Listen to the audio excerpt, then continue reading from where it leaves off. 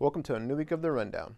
On this episode, Vice CNO discusses the importance of a strong surface force. MCPON says a message to the Chiefs mess, and we celebrate African American heritage.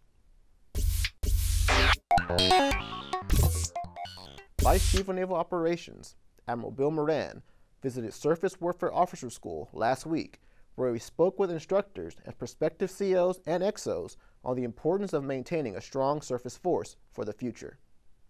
During his visit, Admiral Moran spoke about recommendations from the Strategic Readiness Review and Comprehensive Review in light of the recent tragedies aboard the USS Fitzgerald and USS McCain.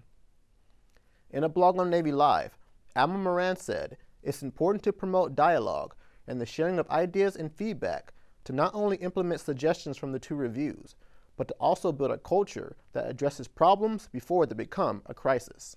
Admiral Moran also discussed near-term recommendations and the way forward in his message to the fleet.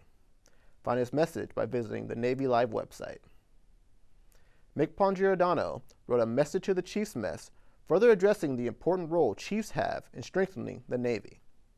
Mick MCPON says that Chiefs must be focused on becoming an even stronger, more capable force, centered on the Chief Petty Officer Creed and the Navy core values.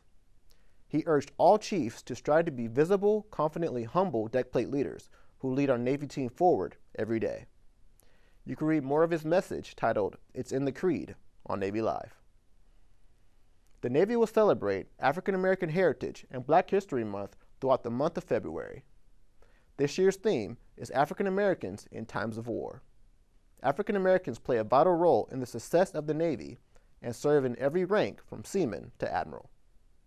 Read the history of African Americans in the Navy in our story on Navy.mil. That's all for this week. For any questions, send us a message at usnpeople.fct at Navy.mil. For the Chief of Naval Personnel, I'm MC2 LJ Burleson. Thanks for watching.